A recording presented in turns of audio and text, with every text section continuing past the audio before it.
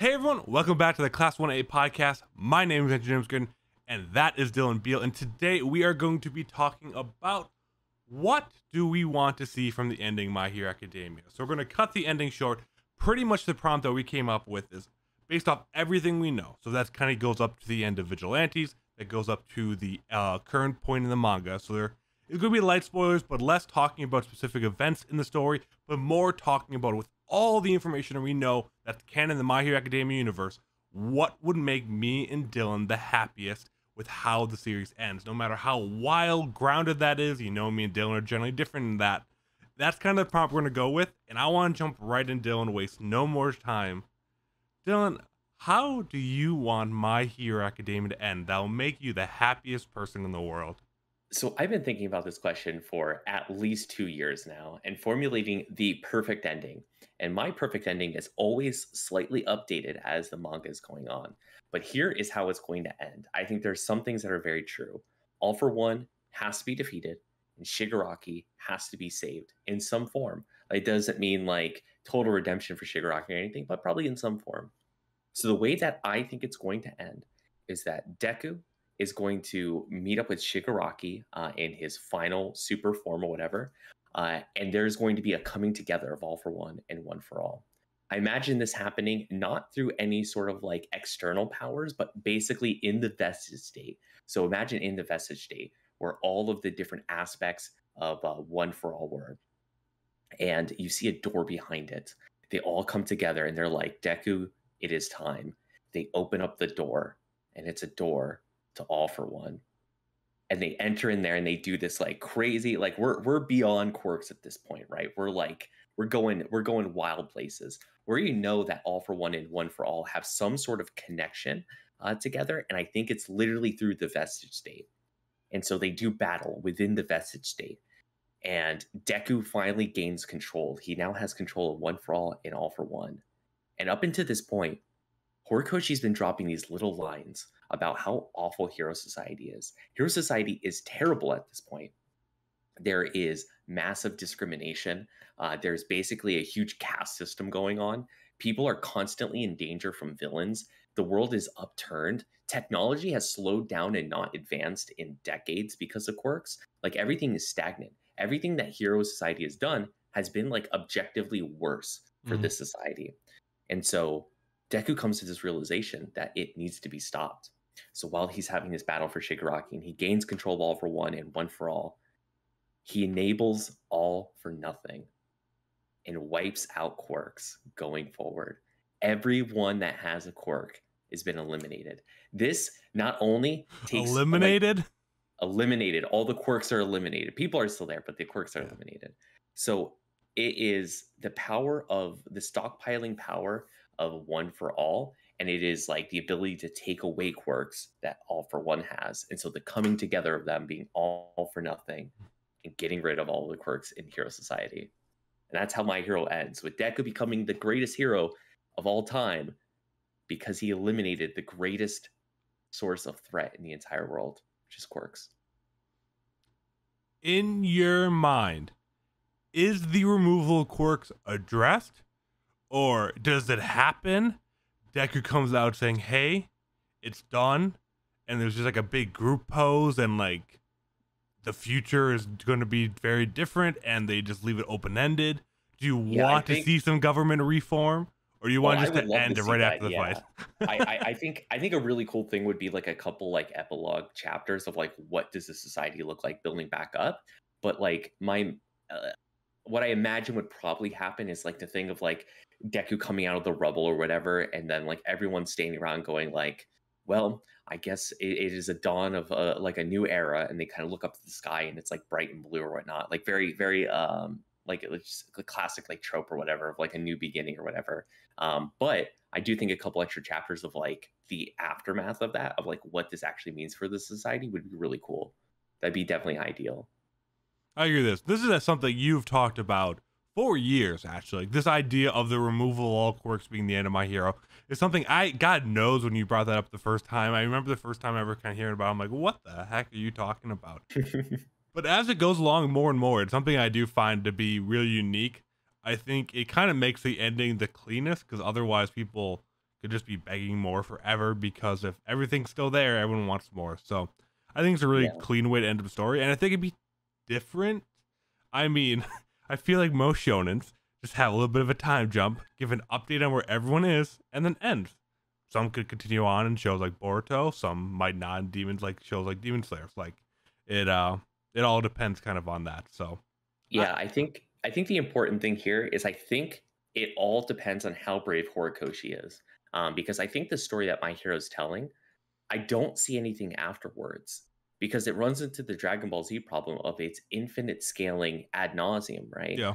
I, I don't mind looking backwards in the story of going into like small side stories of like how do things look like in this world that we already know? But going forward it's like okay well we already fought the existential threat of all for one. Like what what do we do now? It's like okay well i guess we have just stronger people over and over. Like it, it doesn't feel as good. There's like less compelling stories there i think yeah, that makes sense. I mean, I you gotta think all this is happening in Japan right now though.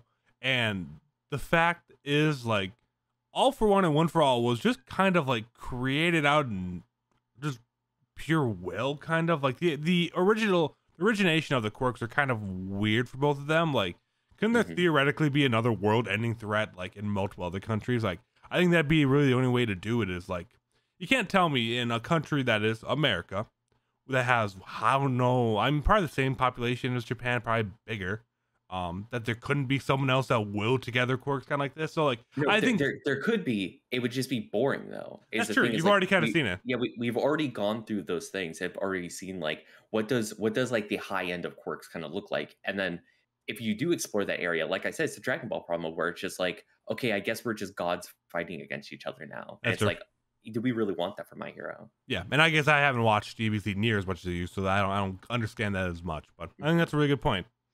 So, moving into my side, then we kind of come back together at the end and Oh, I'm talk about both it. of it all together. I go a very different approach. I have a goddamn checklist. Number one, Uraraka and Deku end up together. Go to piss off some people. That is the number one me thing it's I me. need. you're pissed you're I, pissing off I know it is. I, I knew that was not going to be a popular one. Number two, I want Deku till the very last moment to try and save Shigaraki. I want the big final fight, but for the first time in his life, realize that some people cannot be brought back around and has to actually end him. Because I think that is a final conclusion to Deku's arc that he hasn't.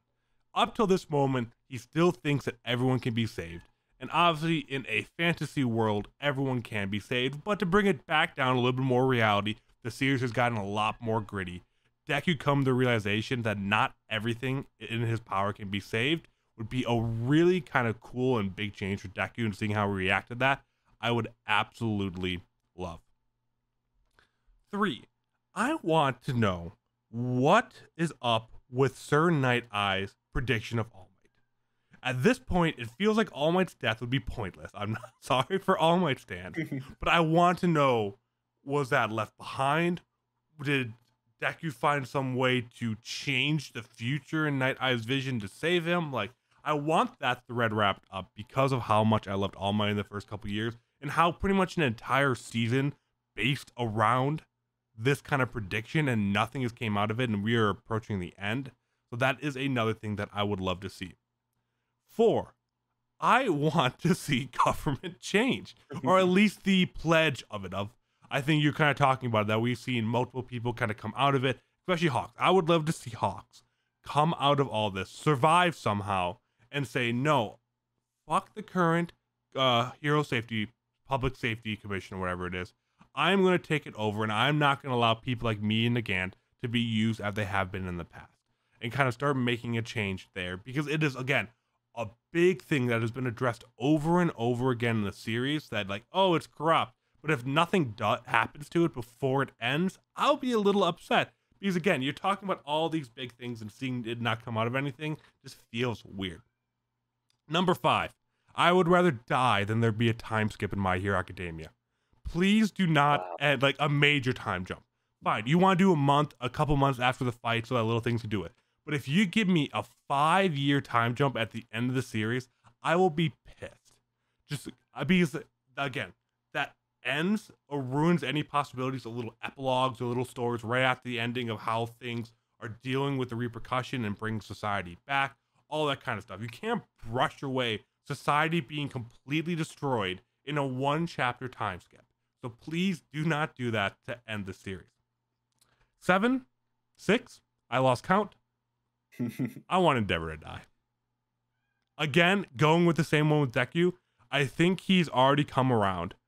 But again, giving the idea that no matter how hard you try, sometimes your past mistakes are still going to catch up with you and you can never truly fix things. Again, I think that's a lesson for Todoroki. I think it's a lesson for Deku, who's getting very closer to him, all that. And again, I it just feels weird if Endeavor gets to live a happy life after all this. I mean, uh, having to fight Dabi eventually, fighting, I mean, Todoroki's feelings towards him, his family's feelings towards him. Like, great, you've done everything you can, but dying's really the only way for Endeavor to end. Um, I think those are a lot of the big ones. I I don't care about the removal of quirks. I honestly thought about adding in the removal of quirks because I do think it is really cool things, and like as the more you talk about it, it becomes more of a reality I would really like to see. But I don't think that has to be included for me to really like to see how My Hero Academia ends. I think the kind of the reform and seeing Deku, like again, it's still the story about how Deku became the greatest hero ever. And I feel like just because he is the last person to defeat a big bad that makes him the greatest hero ever kind of feels lame. Like I would like to see Deku officially named the number one hero at the end of the series. Like even if it's kind of like a sacred like a symbolic thing after beating everything and like hey to kind of bring back hope for all of Japan after all for one is defeated they officially name uh Deku the new number one hero after all of his secrets have been revealed and stuff like that uh to kind of give something to rally around like hey All Might 2.0 pretty much. I think it'd be a really cool way and a way where you can kind of leave it open like hey Deku achieved his goal without having to have a time jump or all these kind of um, questions of like, well, Hawk still is better than Deku and all that. Nope, symbolic thing. We're building around All Might 2.0 pretty much, and that's how we're gonna go forward. So I got some I got some notes there. So one, um, I, I do like the proposals, and I think there's an overlap of what we see a good ending is, and that is uh, Horikoshi not playing a save. I think that's the thing that was going to hold the series back the most at the end is how safe does Horikoshi play it? Does he kill people off? Does he allow things not to end in the most satisfying way? Because I think in a way, by doing that, you actually do make a more satisfying ending, yeah. right? Like, um, I can go back and forth on Endeavor. Um, I actually think he survives, but for the same reason that you said, it's not that he gets this happy ending or anything, but like he has to live out a normal life after this. Like that is the atonement yeah. of like you did these bad things. Now you just have to exist with those thoughts now um, you there's no redemption, there's no martyrdom after this. It's just you have to live with your your actions. And I like that like slight twist on it of being like a little bit more real, kind of like what you were saying with Shigaraki of like, hey, we can't save him. Like we just have to kill him. Like that's the reality. Um, and I and I think like to go even further, I actually do hope we see a little bit more death at the end. Um, mm. Horikoshi is had a few characters die, but for the most part, like has really pulled it back and not really shown us too much. Um, I think there still is a chance for a satisfying All Might death, like a second death of All Might, basically. Really? Um, I think it's there, but I think it's going to be tough to actually do because they do need to do something. Need to they need to address like, hey, Sir Night Eye saw this thing. How did we either get around it, or how did, or how are we going to steer right into it? Right. Um, I hope it's not a fake out of like, oh wow, you actually didn't see him dead. It was just him covered in someone else's blood. I hope it's not that. I hope yeah. it literally is like a we did prevent this thing or we did not prevent this thing, like a very clear cut of one of the two, instead of kind of like skirting around it. Yeah. I completely agree. And kind of go to the point is that we don't want the staple ending because what could easily happen is all for one is defeated by whoever. Deku beats slash saves Shigaraki. The world is saved takes a couple months to rebuild. Society goes back to normal. Deku becomes named the number one because he is really All Might 2.0. Like that could literally be the ending of My Hero Academia very easily if Horikoshi doesn't want to do things. Maybe a couple deaths. We're seeing side character deaths here and there, but nothing we cares about. I mean, I think that could very easily be the next 40 chapters. have no big twist, have some threads wrapped up, and end it there. And that would still be okay. Because I, I, know the fights are going to be great. I know the ending is going to be well. Seeing Deku officially named number one is going to be a cool moment. But the fact that I could predict it right now makes it less of a cool ending. Like the fact that you could kind of predict where it could go and if it went that way right on the dot would be a sad part. Oh, number eight, number nine, number 10, number 11, whatever it is on my list. I want to see Ko- Koichi in the main series. We talked about oh, that before. Yes, yes, I want to yes, have him in there from Vigilantes. If you don't know who that is already, we're both big fans of Vigilantes. Love to see him in the story. I forgot that. That was actually one of the first things on my list. Um, yeah. But yeah, I, I think really what we want is not for it to be a predictable shonen ending and having all these ideas that you built up. Like neither one of us even talked about Doomsday Theory. I mean, that is something that they have quirk Doomsday Theory or whatever that they have talked about multiple times. That takes generations to kind of do it. We have no idea really how that's going to do. Dylan's, I guess, just says get rid of quirks. I, I think, yeah, that, that's so, like the getting rid of the quirks. Like that is like a like a deep reason for it. Of like, hey, quirk singularity literally is a thing that we're going to have to deal with. Like we talked about it kind of recently, and I hope I hope that's not our conclusion of quirk singularity. Like I hope it is like actually addressed of like the societal like fact of it. And that's the thing that a lot of these threads, I'm afraid that they're just gonna have kind of a quick conversation on it or a quick moment around it, and that's it. And that mm-hmm. could be happening. That happens in Shonen all the time. It excuse me, you can't blame Horikoshi for that, but it'd be sad being a series that we spend much more time on and thinking about a lot harder than a lot of other shonen series. so I think we kind of have a little bit higher hopes for it, but a normal shonen ending would still end My Hero Academia is one of my favorite stories ever. But I think both of us want to challenge Horikoshi to try to use all these interesting threads and characters he thought up to come up with something that at least most of the people won't predict. We could probably still, if we listed out a thousand different endings, we could probably guess what the ending of My Hero Academia would be. But yeah, um, and I think I think the important thing for here for Horikoshi is going to be though is this ending is incredibly important because because we know the next thing he's going to work on is not going to be my hero. Uh, he said something about like he wants to do like a horror manga next or something, but he clearly wants to step away from my hero, which like if he wants to, he's gonna have to do like a good ending. Like he's yeah. gonna have to end the series like pretty concisely and be like, here is the package of my work. I'm going on to something else. Otherwise, it'll haunt him forever. And that's yes. kind of the one thing that that I like the idea of a removal of quirks or something kind of like that. Like if if you don't have like something that kind of cuts it off, people will beg forever and ever. And like even you and me, after it ends, all that, we'll still say, damn, I wish there was more My Hero Academia coming out weekly. But at the point, yep. if it's a good ending, we'll still do that. We'll always feel that way.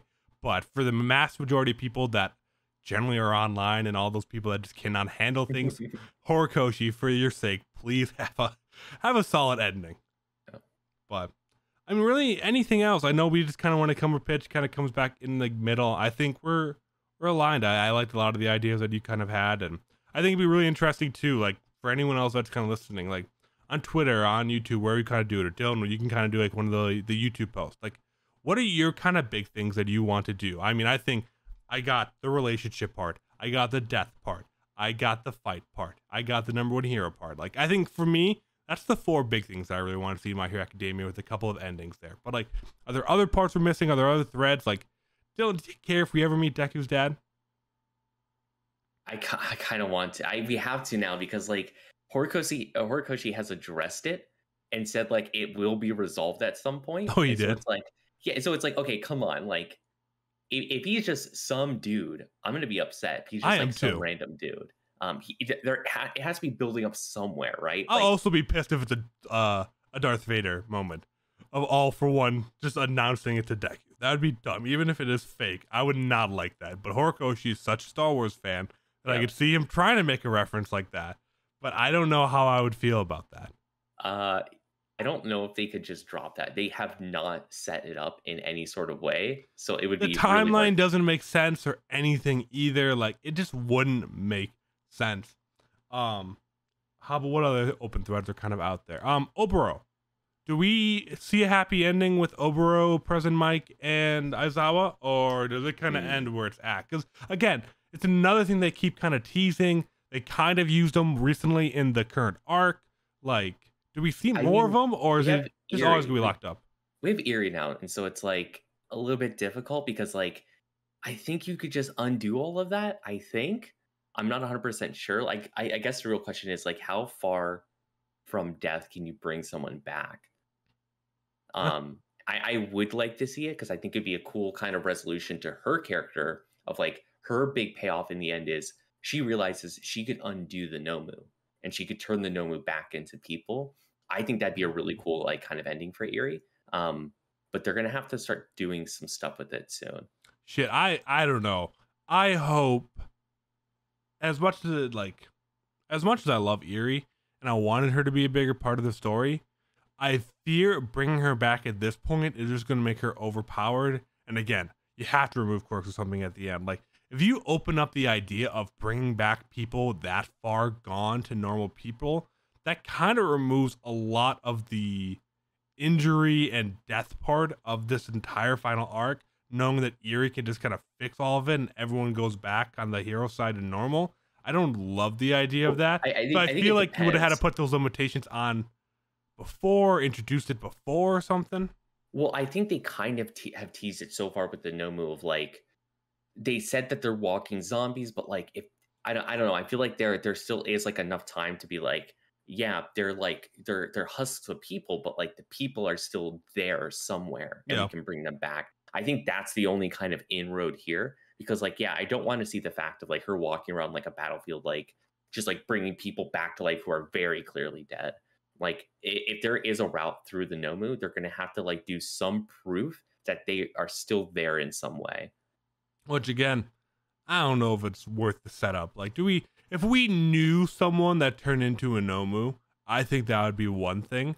But the fact is, like, we didn't have anyone die and was like confirmed to be Nomu. There's rumors of stuff of all that kind of stuff. But like, But but I mean, what's what's what's like Eri's big payoff then? Was it like Mirio then? I think it was that- Mirio. Yes. Is that really the big payoff? Yes. Um, if so, maybe a little bit of a miss. It since was a it cool all chapter. since it all happened off screen, it was absolutely the peak because otherwise if you introduce that give that screen time and start explaining how that works again horikoshi's world works so well because you don't explain anything. And if you explain how Eri is able to do things that opens more doors to more questions and more why didn't this happen? Why didn't that happen? Because theoretically if he could give back uh Mirio's quirk why can't she make All Might good again you could just reverse Yeah. someone's body back in time. You know what I mean? Like yeah, that's again, a that, good point. that's another thing I thought up. about. Like, wait, is All Might at one point just gonna have Eri touch him and go and end up fighting all for one?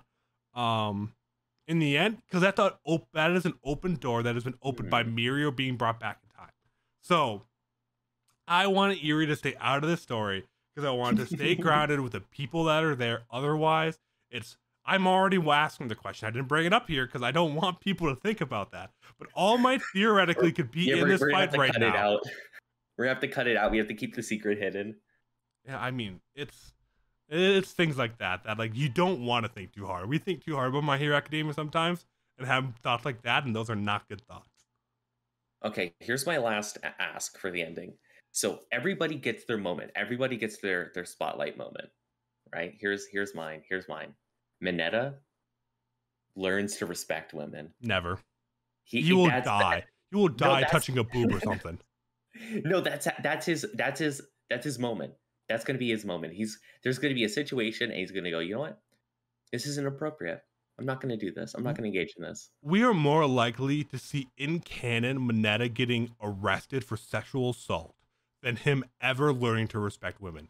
Canonly. Like that is you are asking too much. Quirk removal is more realistic than Mineta becoming a changed man. And that okay, is listen. My my prediction is going to be true. Like like clip it. I will I will put money on that being the ending. But regardless, I would like to see Mineta get thrown in jail. That would be very good. I would, I would be happy. That that would make me an extra happy man. I think but all the fandom would just like it'd be, it'd be incredibly happy with that. it would. It'd be it'd be a just ending. That that's the only way for him to have character develop. But I think that's a pretty good spot there. Then we got through a lot we wanted to talk to. Again, as I was saying earlier, and then got sidetracked, of course. Let me know what you guys want to see in your endings of My Hero Academia. If you agree with Dylan, if you agree with me, if you have some kind of combination of the two, or have your own checklist or kind of idea that you'd love to see, we would love to hear about them, talk about them. Um, because who knows? Maybe in a couple months we could do it again with some changes, and of course we'll talk about the end of My Hero Academia. So maybe we'll see who some people that are really smart and guessed right. But that'll be all for this today's episode of Class 1A. Thank you all so much for listening and watching, and we will be back next time. See you then.